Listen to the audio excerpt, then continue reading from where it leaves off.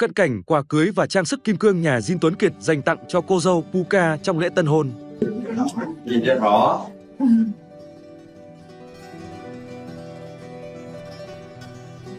có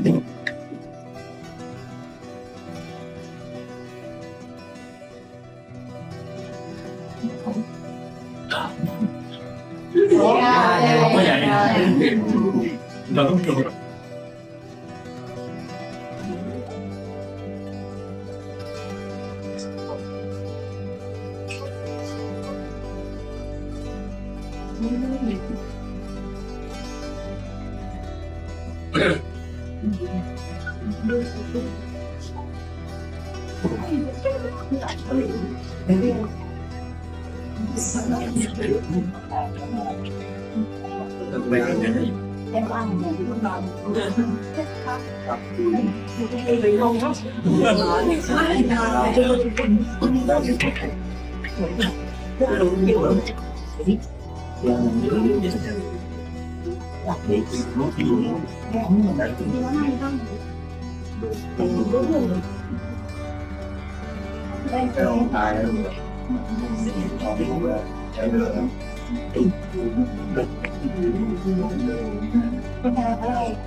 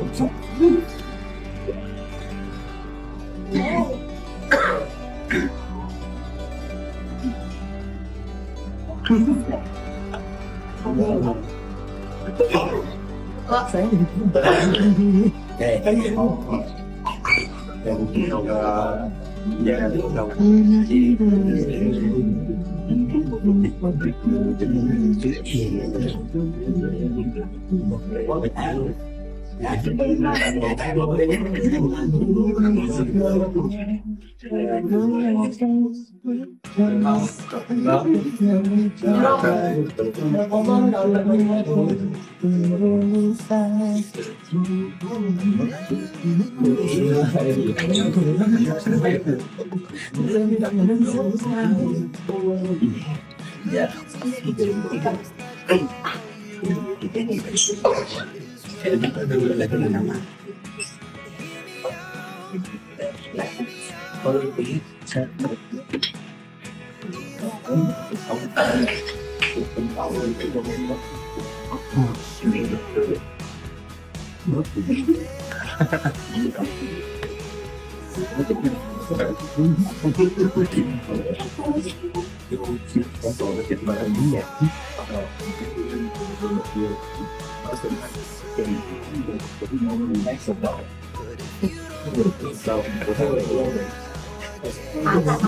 Đèn quẹt mà kia vậy?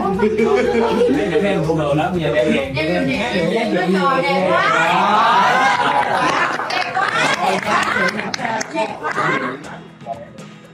Thì à, đây là một món quà trước thôi, còn nhiều phần quà. Cảm ơn các bạn đã quan tâm theo dõi. Đừng quên đăng ký kênh tin Việt để cập nhật tin tức nóng hổi mỗi ngày.